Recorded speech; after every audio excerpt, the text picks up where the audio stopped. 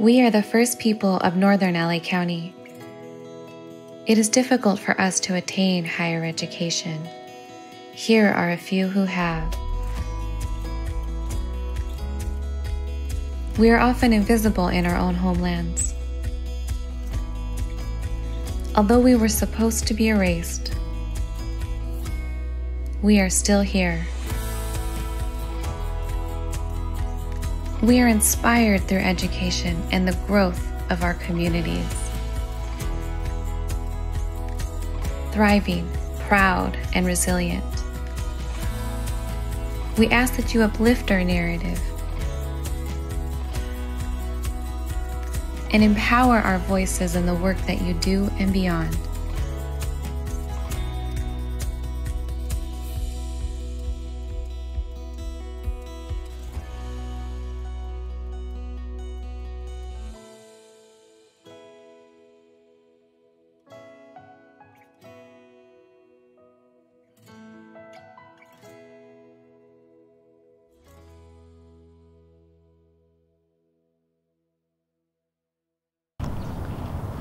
Hamanat, Lutawan, Dennis Garcia, Azekpa, Yukachain. In my, in my Tataviam language, that is uh, hello. My name is Dennis Garcia. I am from the San Fernando Valley. I also, part of my culture is also the, the Chumash culture. I'm still learning more and more about my Tataviam culture, but I um, know more about my Chumash culture and that is what I took on first when I first started getting back. Well, right now I'd like to uh, do a blessing in the Tataviam way, okay? So I'm gonna, I'm gonna name the four directions.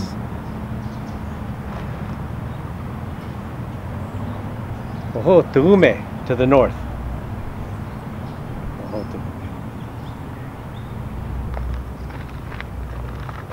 To the east, Koimi.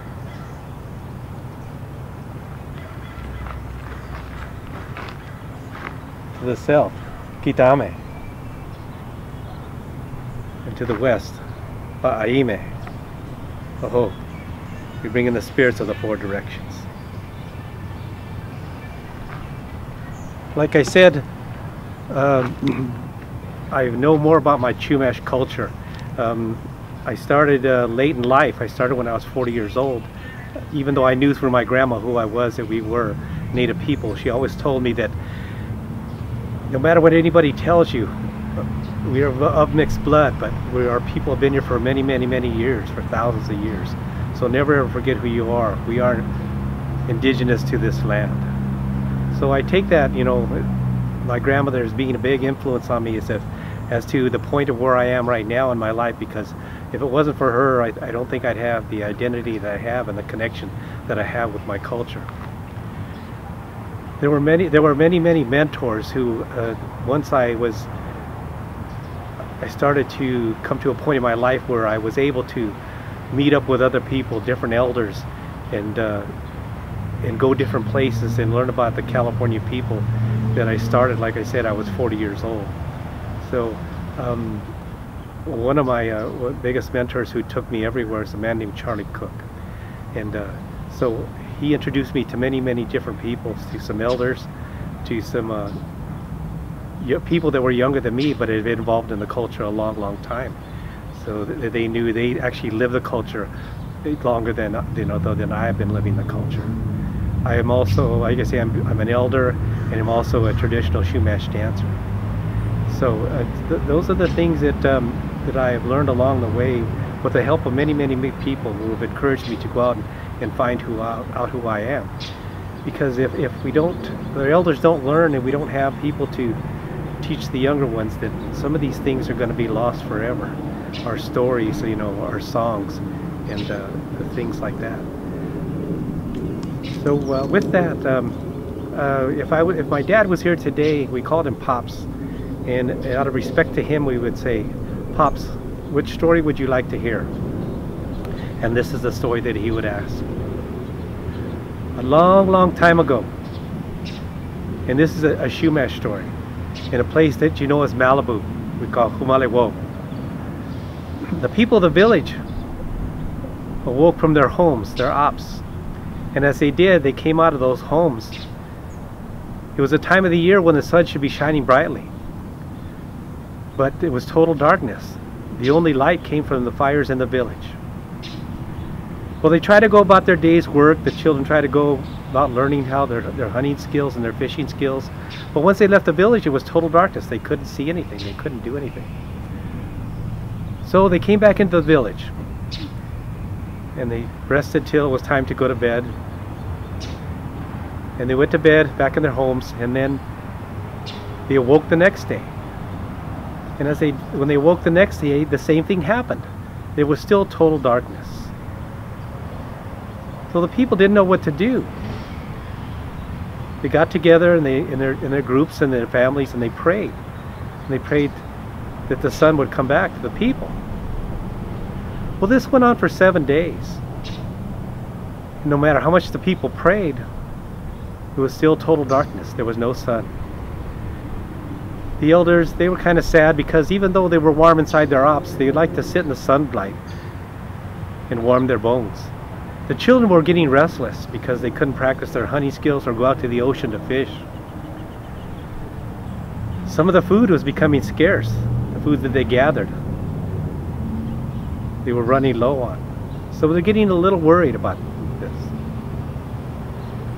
So the chiefs of the village got together, the families, and they sat in council. And in our culture, we're matriarchal, so the women have a lot of power there are men and women chiefs and there are different levels of chiefs ceremonial chiefs and things but and then people who make the decisions. So they got together the chiefs of the village the families in the village and they said what are we going to do? The sun hasn't come to us for seven days. And as they said in council they came up with an idea. They said let's get together about 12 of our best warriors and see if they can bring back the sun to the Chumash people in warriors, we didn't fight with many people here in the beginning. Some of our warriors were great craftsmen. They were great canoe makers, or they were great bead makers, or jewelry makers. So they were considered warriors. we had men and women chiefs, we had men and women warriors. So we gathered up those 12 warriors. We told them, you have to go bring back the son to the Chumash people. So they kissed their families goodbye and they left the village and he disappeared into the darkness. Well, an eighth day, a ninth day, a tenth day passed. Still no sun. Still total darkness. Like I said, everyone's getting restless because there was no sun. On the morning of the tenth day, an elder comes out of the darkness and into the village. And he approaches the people. And they approached him and they said, What do you want with us, old man? With him he had this warrior who stood about this tall. He said, I brought my warrior here to bring the sun back to the Chumash people. Well, they kind of chuckled because this warrior was just this tall. But having nothing to lose, their warriors hadn't brought back the sun to them yet. They agreed and they brought the manna into the into the uh, the circle, into the village. And as when he did, when he brought him into the village, he brought his warrior in with him, and he started to sing. Yani yani ho ho yeh o yeh yani yani ho ho yeh o and the warrior danced in the circle. Well, the warrior started to dance faster, so the elder sang faster. Yani yani ho ho yeh o yeh yani yani ho ho yeh o. Well, the warrior danced even faster yet elders sang faster. Yani yani ho ho yakwio yakke yani yani ho ho yakwio. And as the warrior danced in the circle, he spread his arms out like this. And as he did that, feathers started to cover his arms.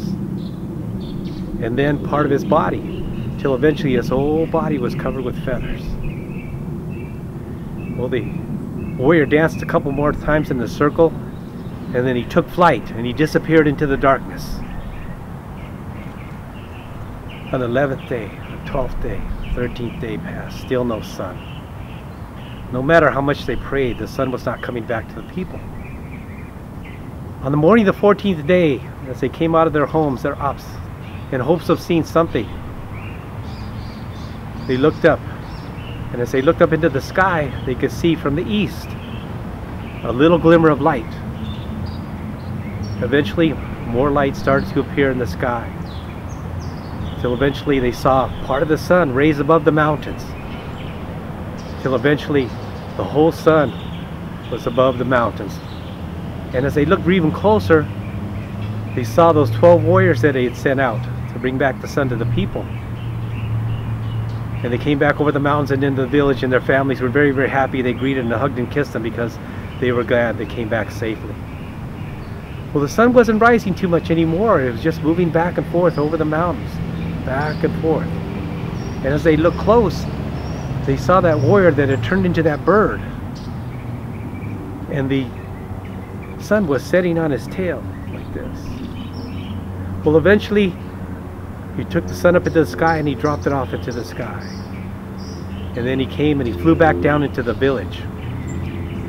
Well, the people were very curious. They had many, many questions for him. So they said, you know, what, what happened out there? What, ha what's, what's going on? What did the sun? Did the sun say anything? Did he give you any, any messages for us? And he just kind of said yes. Well, what did the sun say? He said, well, the first thing he said is never take anything for granted because you never know when that sun's going to come up in the sky. And more questions kept coming at him. He couldn't answer them fast enough. And then he said, Did he say anything else? The people said to the, the warrior. And the warrior said, Yes. Just because someone is small in stature doesn't determine his strength because his strength comes from within. And the more and more questions kept coming at him till eventually he just said, it turned around and he showed him his tail feathers. He said, where the sun shone so brightly on my tail, he left it this beautiful red. And then he showed him this black mark across those feathers. That's where the sun actually touched my feathers and left that black mark across those red feathers. And that's the day that the red-tailed hawk was created and he brought back the sun to the Chumash people. Aho. Okay, in honor of that uh, warrior bird that brought back the sun to the Chumash people, I sing a song, the red-tailed hawk song. And it goes like this. Atasun helik, atasun helik, haku te halen, atasun helik, atasun helik, haku te halen, ataka pawo chilik, a choho wachun, a choho wachun, a yawa yawa kiwanawa, a yawa yawa kiwanawa, a tesun helik, a tesun helik, haku te halen, a tesun helik, a tesun helik, haku te halen, a taka pa ho chilek, a choho wachun, a choho wachun, a yawa yawa kiwanawa, a yawa yawa kiwanawa, a tesun helik, a tesun helik, haku te halen, a tesun helik, a tesun helik, haku te halen, a taka pa ho chilek, a choho wachun, a choho wachun, a yawa yawa kiwanawa, a yawa yawa kiwanawa, a tesun helik, a tesun helik, haku te halen, a tesun helik, a tesun helik, haku te halen, a taka pa ho chilek, a choho wachun, a choho wachun, a yawa yawa kiwanawa, a yawa yawa kiwanawa, a tesun helik, a tesun helik, haku te halen, aho helik. Well, um, I hope you enjoyed the song and the story. Uh, this is just a little part of uh, my journey on my on my way to get to where I am as an elder and and the things that I've done through my culture throughout the years. So, like I said, I get, once again, I hope you enjoyed this story and this song, and uh, uh, thank you for letting me do this. I hope. Chewum, chewum, chewum, chewili kumaha, chewili kumaha, chewili chewum, chewum, chewili kumaha, chewili kumaha, chewili kumaha, chewili chewili kumaha, chewili kumaha, chewili kumaha, chewili Ayunga, yunga, yunga, yunga, yunga, yunga, yunga, yu. Ayunga, yunga, yunga, yunga, ayunga, yunga, yunga, yu. Chewum, chewum, chewum, chewili kumaha, chewili kumaha, chewili kumaha, chewili kumaha, chewili kumaha, chewili chewili kuma chewili kumaha, chewili Ayunga, yunga, yunga, yunga, ayunga, yunga, yunga, ayunga, yunga, yunga, yunga, ayunga, yunga, yunga, yunga, chewum, chewum. Chewum, chewili kumaha, chewili kumaha, chewili Chewum, chewum, chewili kumaha, chewili kumaha, chewili kumaha, Chewili kuma kumaha, chewili kumaha, chewili kumaha, chewili Ayunga, yunga, yunga, yunga, ayunga, yunga, yunga, yunga. Ayunga, yunga, yunga, yunga, ayunga, yunga, yunga, yunga. Chewum, ho! And that's the story about Chewum. This song is a contemporary song. It was uh, written by Liz Dominguez. Liz Dominguez.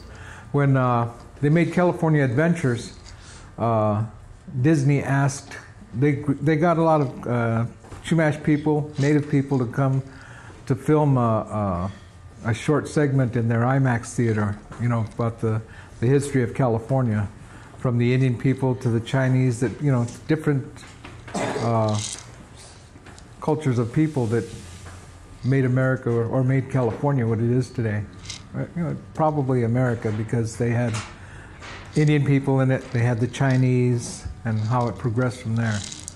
So uh, she was asked to write a song about, you know, about that would go into into the film, which never made it.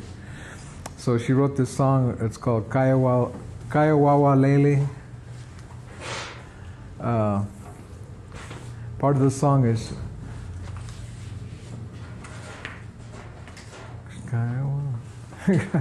Shupushtoyo Kipaka. And that paka, paka is is Spanish because she didn't have any Chumash words for that part of the song, but is that uh, we stand together under the air, under the rainbow in the spirit of the dolphin. Uh, so uh, Alakoi is dolphin.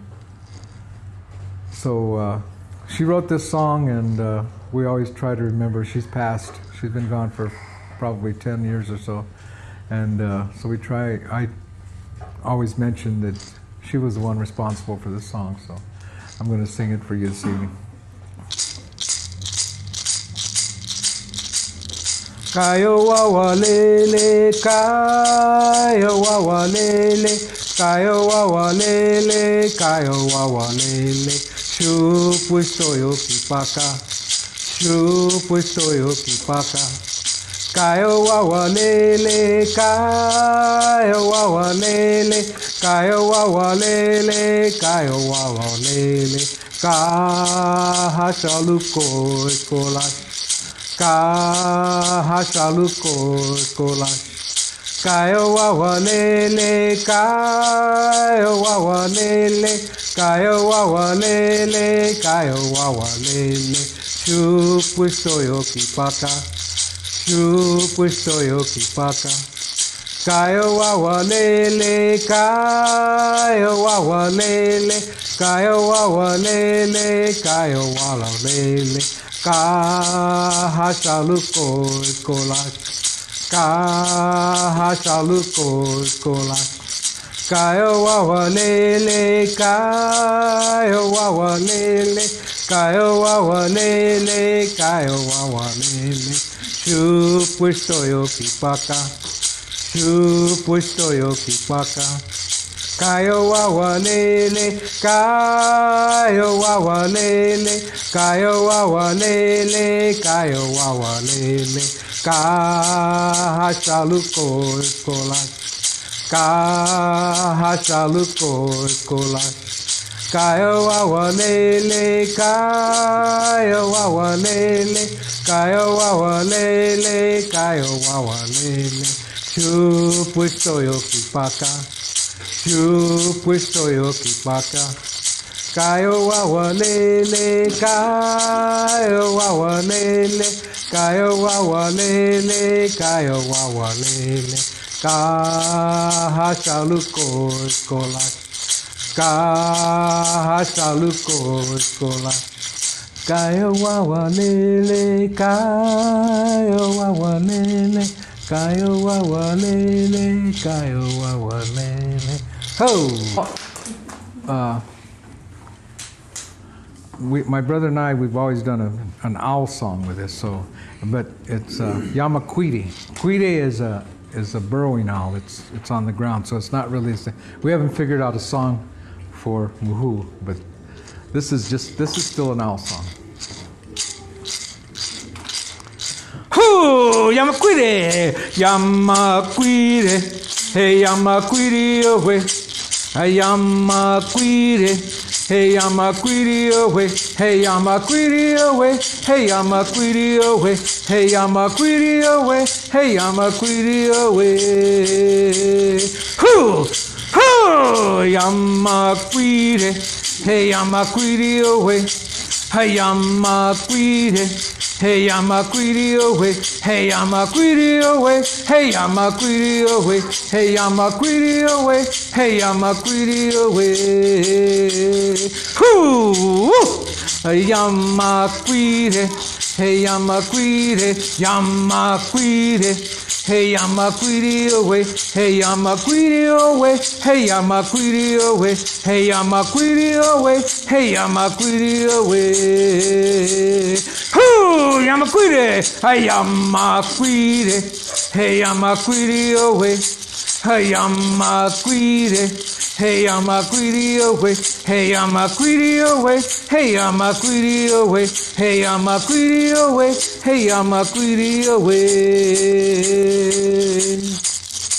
Hey, I'm a greedy. Hey, I'm a greedy away. Hey, Yamaquiri! Hey, Yamaquiri away! Hey, Yamaquiri away! Hey, Yamaquiri away! Hey, Yamaquiri away! Hey, Yamaquiri away! Hoo! Woo! And that's that's kind of like a, a owl song because I learned it. It was you know Yamaquiri and sang really slow and kind of nice.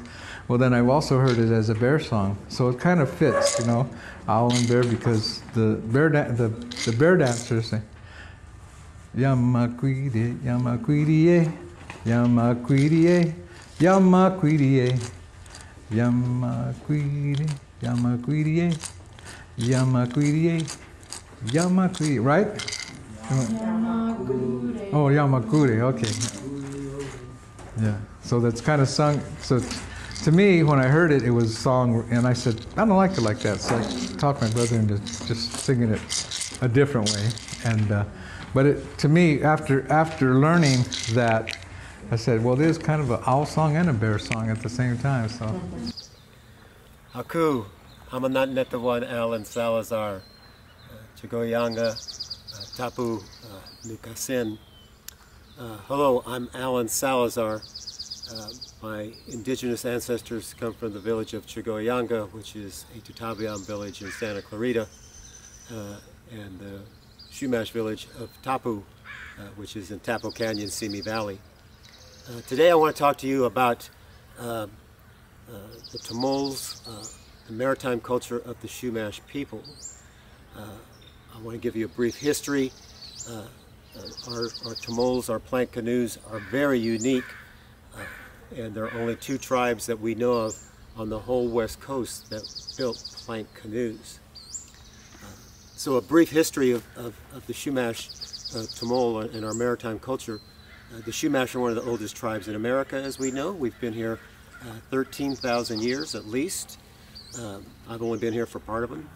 Uh, but uh, uh, during those 13,000 years, we would build canoes and rafts and go from the mainland along the coast here, Santa Barbara, Carpinteria, Ventura, Malibu, and and even farther north and paddle out to the islands, which were also Chumash. Now, 13,000 years ago, that was all one island called Santa Rosa, uh, and our coastline was about three to five miles farther out. So it was a relatively short journey, depending on where you left from, to go out to the islands, maybe four, five, six miles. So a small Tule reed canoe can make that uh, very easily. But then about 8,000 years ago, our, our waters warmed up and the ocean levels raised up and our coastline moved back to where it is today. It took several hundred years for this to happen. And uh, that one giant island became Anacapa, Santa Cruz, Santa Rosa, and San Miguel Island. And when it became farther out, uh, at some point we came up with the technology of building bigger uh, tomols. Tomol is the Chumash word for canoe. Uh, so we, we came up with the technology of building plank canoes. Now we didn't have Lowe's and, and, and Home Depot back then, so uh, our, our canoe builders had to, had to first start by making their own boards. So they would get driftwood, which had cured as it been in the, in, the, in the ocean waters, redwood from Northern California that would float down, uh, down current, uh, down the coast was the preferred wood. But any soft wood would, would work. And basically we, we made our own one by six, one by eights, two by tens, two by twelves, uh, and then drilled holes in them and glued and tied them together using the natural tar and uh, asphaltum uh, that, that seeps up uh, uh, throughout all of uh, various locations in California. Carpinteria is a natural oil seep, and, and at, to, to today it still has a lot of tar and asphaltum that you can go and collect. And we would mix that tar and asphaltum uh, with pine pitch, uh, so it's called yop, uh, and we would glue and tie our, our, our, canoes together. So by coming up with a board technology, if you get two 12-foot boards, you have the beginning of a 24-foot canoe. If you have two 16-foot long uh, boards, you have the beginnings of a 32-foot canoe. And the Spanish say when they first came down the coast in the 1500s that uh, uh, they were greeted by by dozens and dozens of Chumash tomols when they came to our villages. And uh, the canoes were 20 feet, some 30 feet, some even over 40 feet long with 10, 12 people in them. Uh, they're flat bottom, so they carry a lot of weight. So the way I, I try to explain it is, is basically our, our canoes were used to go out and, and fish and to not bring back just a few fish, but to bring back three, four, 500 pounds of fish to feed everyone in the village. Uh, uh, so they carry great amounts of weight that allowed us also to take, for example, deer skins and deer meat and, and deer hides uh, out to our, our family and friends, Chumash family and friends on, on, the islands. And we could take three, 400 pounds of trade items uh, out to the islands and then bring back the shell bead money or the uh, abalone shells that they had in abundance. Uh, so archaeologists and anthropologists uh, uh, they believe that, that the Chumash have been building these tomols for around 3,000 years. I believe we started building them shortly after uh, the ocean waters raised and that we've probably been building them for, for 6,000 years, but uh, that's all kind of an educated guess. Uh, and then what happened was, uh, when the mission started and, the Spanish came, it dramatically affected all tribal people in California and it dramatically affected the Chumash, our population was cut in half, uh, so our workforce was cut in half. Uh, we were enslaved at the missions, and we were forced to learn other trades, other skills to survive. So somewhere around the 1830s, uh, the old men that were the Brotherhood of the Tomol, and the Brotherhood of the Tomol are the men that build the canoes and paddle in them, are, they are the fishermen. Uh, if you owned a Tomol, you were a wealthy, influential uh, man within the Chumash uh, culture.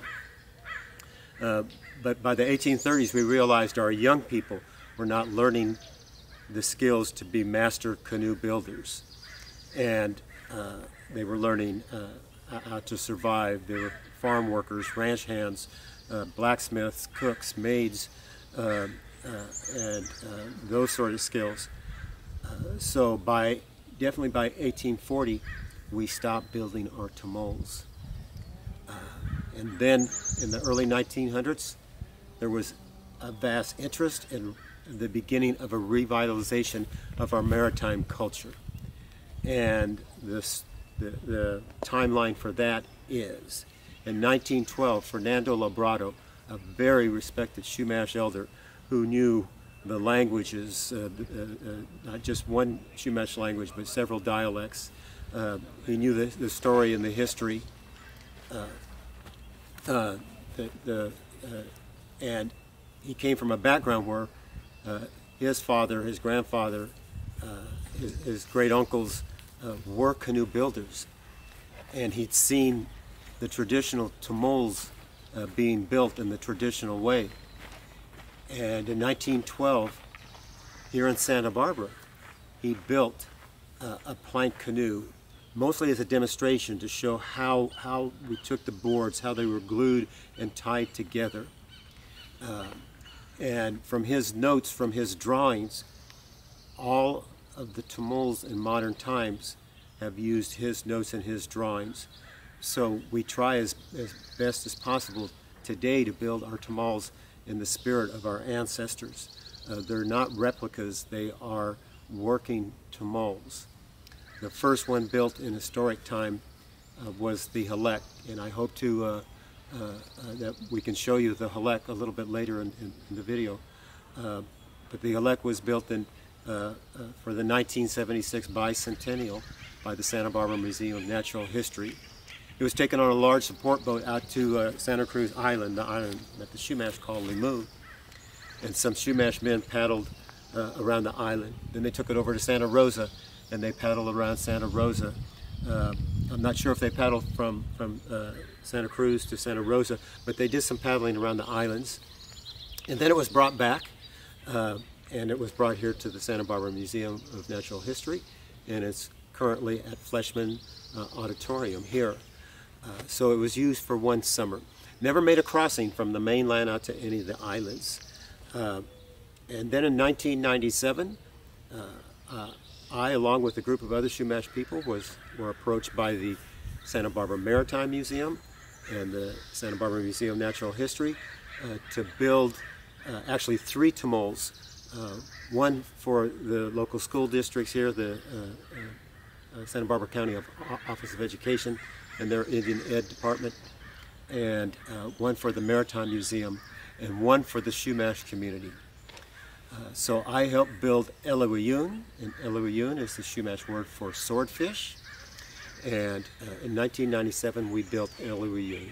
Since then we've built uh, several more tomols, and in 2001 we paddled from the mainland, uh, Channel Islands Harbor in Oxnard, California, uh, out to Limu.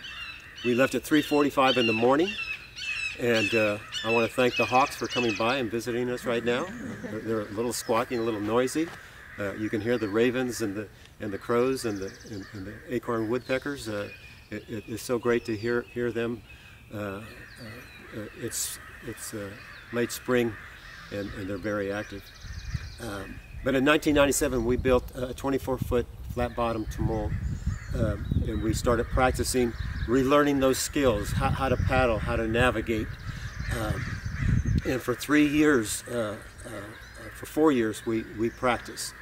Uh, and uh, we progressively got stronger as paddlers and more knowledgeable of, of, of how our canoes work.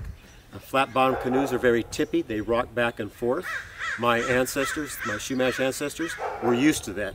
They would paddle and the canoe would lean all the ways over to the right. When they paddle on the left, the canoe would lean over uh, to the left. We're relearning our, we're, we are relearning our skills. Uh, so we get a little scared and, and, and uh, when it leans real far like that. So we put ballast or weight in the bottom of the tomol. And our, my ancestors would do the same thing. They would just use large rocks between the fishermen or between the paddlers. And as they caught 30, 40 pounds of fish, they would throw some rocks out. So we lined the bottom of our tomol with uh, sandbags for ballast. We put a good 350 uh, pounds of ballast in the 24 foot tomol. That gets some of it underwater, then it's not too tippy, it's more stable. Uh, our paddles, if you can, can see here, th th this is one of our paddles, uh, uh, and uh, they are over 11 feet long. so we actually kneel on those sandbags when we're paddling and only the captain or the navigator in the uh, in the back sits down like I'm sitting, and he paddles and then uses his paddle as a rudder to get the tomol to turn to the left or the right, so that you're going into the waves straight on and not sideways. Um, so we practiced for four years relearning those skills, and we felt we were good enough after four years. And in 2001, September 8th, for the first time in over 150 years, possibly maybe even 160 years. Uh, a group of Chumash people took a traditional Chumash tomol, a traditional Chumash plank canoe, and we paddled from the mainland out to the island. Uh, and since then, we've gone a dozen more times. And it's something that is very important to the Chumash people because we consider, consider ourselves to be people of the ocean. We are water people and it is a large part of, of our culture. It's a large part of our way of life. And I tell people all the time, and I'll, I'll, I'll close this section with, with, with, this little personal story. Um, anyone that knows me, my kids, uh, uh, my family know that I have a fear of heights. I don't like being this tall. Uh, but uh, uh, I, I'm, I'm not a daredevil by any means. I'm not an, an, an adrenaline junkie. I like physical challenges, uh, but I like to be on, on stable ground and, and not up too high.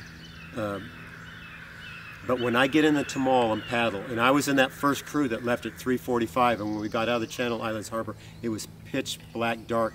We'd send our support boats several miles ahead of us, so we would have an experience paddling at night, uh, paddling in open waters, and it felt perfectly natural.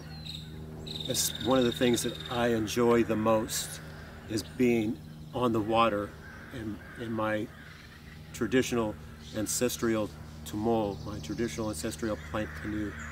And that's, that's one of the places where I, I feel at home, uh, that it's a, it's a natural thing for me. Other than when I'm racing someone and that burst of, of when I shift from fourth gear to fifth, fifth gear and I pass them about five yards before the finish line.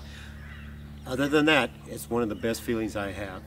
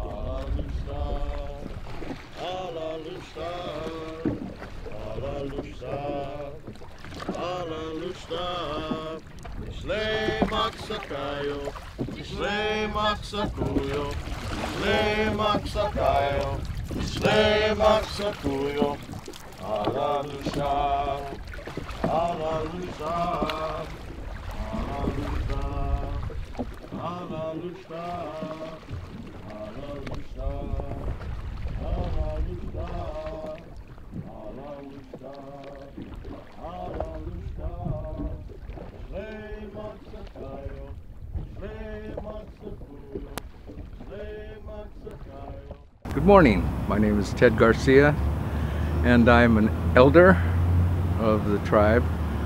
I'm also a stone carver, I'm a storyteller, a song carrier, a spiritual advisor, and I'm also a chief of the Southern Band of Chumash Indians.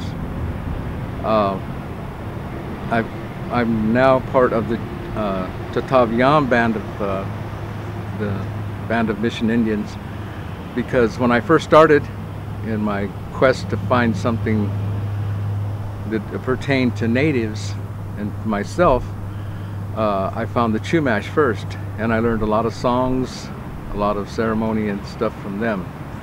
Uh, and then once that disbanded, I was kind of lost because I was 45 years old when I found the Chumash and when I started getting into my culture. You know, my children had grown up and I had plenty of time to do things for myself. Well, uh, the Chumash program that I was in, it disbanded. And several years later, I heard that uh, uh, I can't think of his name. Who's who's our chairman? Rudy. I found out that his father had been doing this for many years, trying to get things doing going because my uh, my father was involved in it also.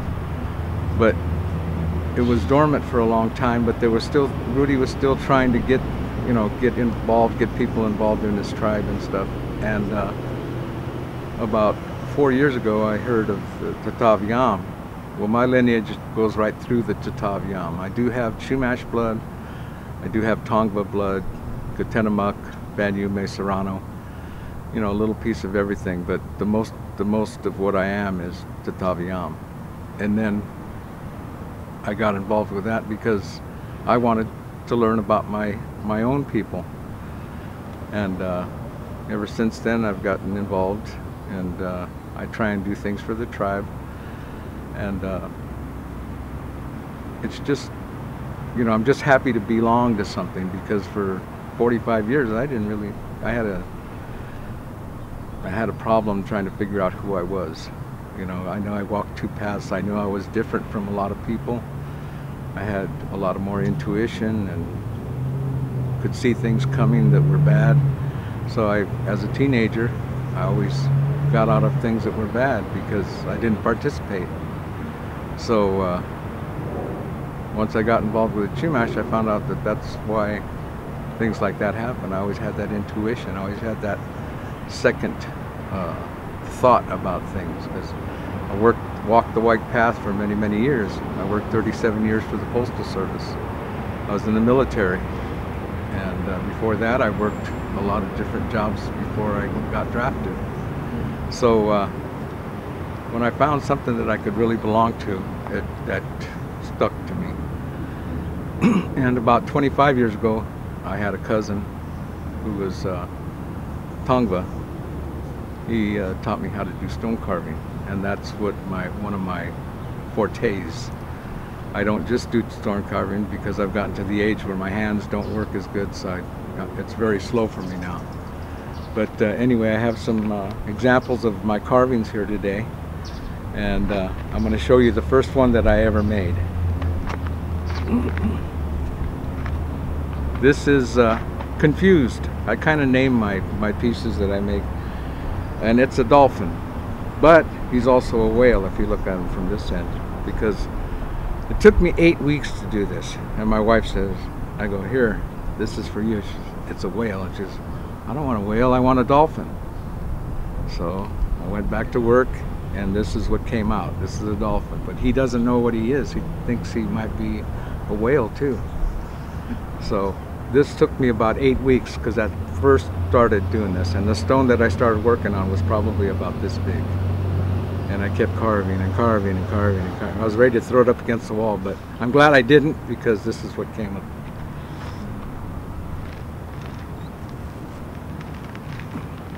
I participate in the uh, Gene Autry uh, Native American gathering that they have for the artists, and I'm a participant there. And uh, every year it seems like I had something on the table to sell, and somebody admired one of my pieces. And this one was my father. I call him Nixon because his side view kind of looks like Richard Nixon. So my father really liked said, I really like that bear. I really, for two days I heard that, you know. So nobody bought him. So at the end of the, you know, the end of the program, I said, okay, Pop, this is for you. And so this was his piece.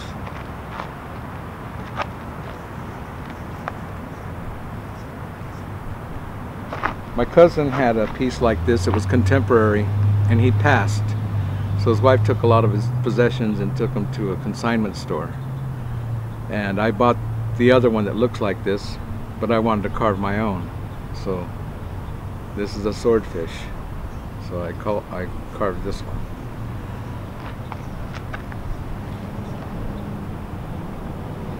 And my wife also, she we had a little red-eared turtle in a in a uh, in a uh, an aquarium, and I had a rocking chair next to it that I sat in all the time. She says, "I want a I want a turtle." Well, I'd never carved a turtle before because all the things that I make come from my what I think a turtle would look like. So this is Maddie. I gave this one to my wife, and I never sold it either. I never even put it on my table, but. Uh, it I it it's it means a lot to me. It's very sentimental to me. So. And this one I carved about 15 years ago, and this is a little sea lion, or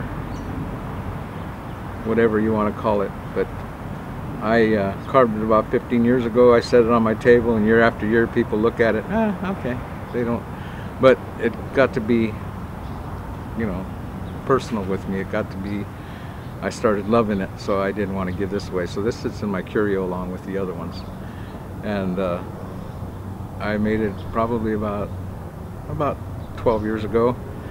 And before, his little fins weren't long enough, so I completely redid it and made his, his arms longer and polished it up, and that's, that's what he looks like. So, last but not least, and there's not a lease to any of these because I've made over 200 of them and I've sold them at at uh, different uh, venues. This is a little seal. I don't know if you can make him out, but I carved him and uh, nobody's wanted to buy him either, but I made him about five years ago and he's still with me, so that's, but literally I've sold, I've sold hundreds of my, uh, I've been doing it for 25 years, so I, I've, I've sold probably between two and 300. And I've given a lot away too, because when I first started, I didn't think it was right to sell them. So I gave them to friends and family, and I carved buffaloes, and, and also in uh, bears and uh, bears and dolphins and whales were my specialty and then turned into seals. And then uh, I have a stone that uh, I, I, brought earlier. It was a, was a rabbit, but I should have brought all the finished ones, but I probably should have brought the ones that were in, in progress. But uh, I carved frogs, uh, swordfish, uh, just a lot of different uh, sea life and that's what I've done for the last 25 years. It's getting to the point now that I have a, a stack of uh, stone alongside my house. It's about, you know, that I started at the very beginning, and I probably got a, a ton of stone. It leans up against my house, and every once in a while I get the urge to carve. I'll go out there, and one of the stones will talk to me. Say, hey, hey, I'm here. So I'll look at it, and I'll pick it up, and I'll take it to my table, and I'll say, oh, what is this? ah, I know what this will be. It'll be a turtle, or this will be a dolphin, or this will be a sea lion, or you know, etc., etc. Right now, I have about a half a dozen pieces of large stone, uh, steatite. It's called. It's a black stone. Uh, that's what the bear and that and confused are called. That is made from steatite. But I gather all my own stone up above uh, Bouquet Canyon off of Fire Road. There's a lot of stone up there and a lot of different colors. And uh, it goes from uh, black to green. Some of them are a little bit tan, but the, the, the stone is beautiful. Some of them I've got from Angel's Camp, trading with other people. And uh, so that's what I've been doing for for many years. I also make clapper sticks. I also make rattles, uh, just because they touch me. Because when my father turned 80, he kind of complained a little bit because, you know, I'm turning 80 and nobody's planned a barbecue or a or a party for me because all his friends who were turning 80 were, were getting parties, you know, big parties in halls and stuff. So uh, we decided we're going to have a big barbecue for him at a park. So I went out and gathered enough elderberry to make over hundred clapper sticks, and there was over a hundred people at his birthday party. And my brother, my sister, my two cousins, a couple of friends, myself, my girlfriend, and I sat down a couple of weeks before his birthday and carved clapper sticks. And uh, so, like I said, I've made a few gourd rattles, but I'm not as good with gourd rattles, rattles as I am with uh, the clapper sticks, but I've also made some uh, giant culp, culp bell, culp bell, culp bulb rattles. They're made from a, the culp, the giant culp. the giant kelp, excuse me.